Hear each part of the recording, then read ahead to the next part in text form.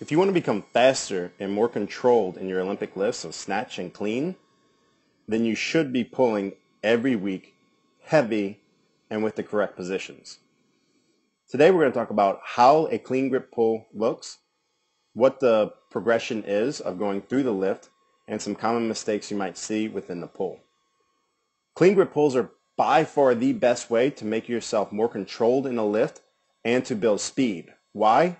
Because you're working your body through the positions of a clean without actually dropping under the weight. So the athlete can control these movements so much easier and better throughout the course of the pull, get really good at pulling, and then therefore it'll transition over to the lift.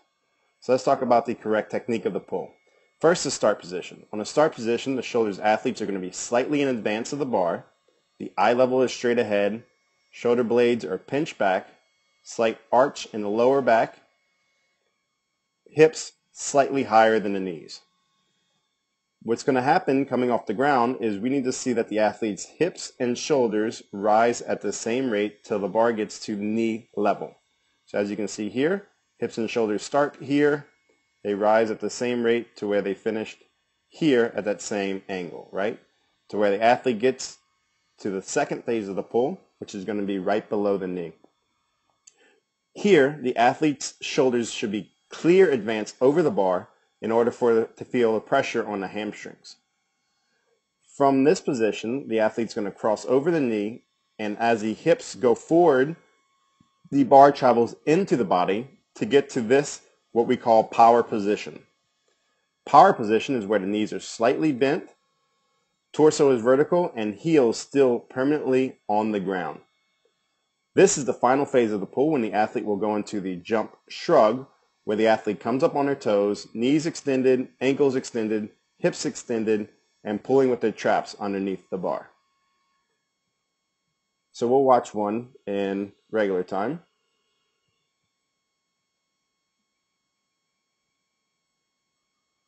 Right here, coming off the ground, and pull to finish, right?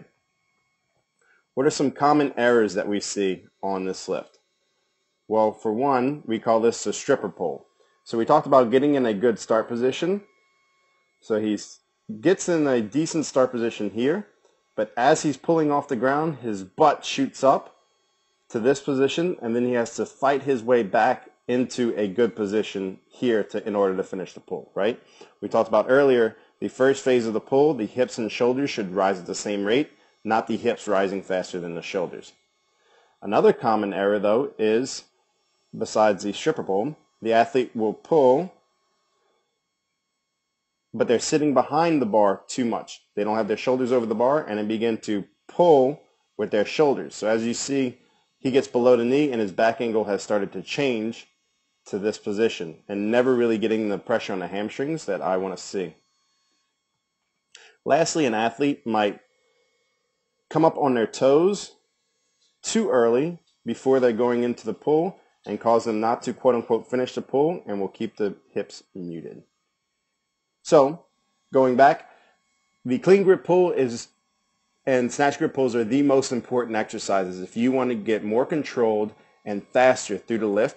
Why? Because you can control these positions. You can get strong at these positions. And if you build up that strength throughout the positions, when it comes time to lift, your body, your body will automatically know what to do through the muscle memory you created from, the, from doing your pulls.